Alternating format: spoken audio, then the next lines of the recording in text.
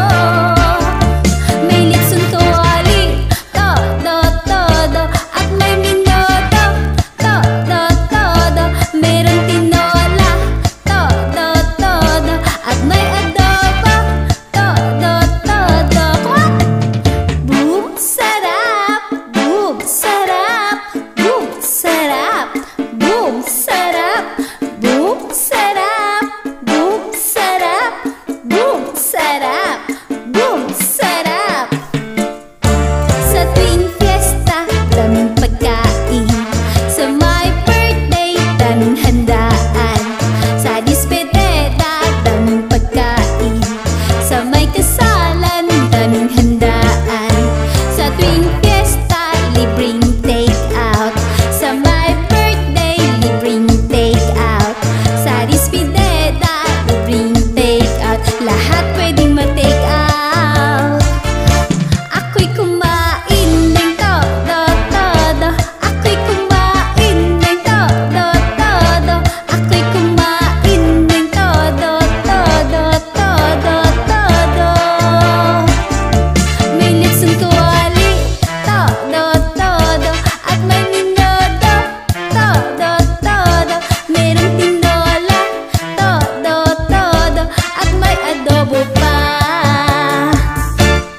much. It's me, Madam Yuki.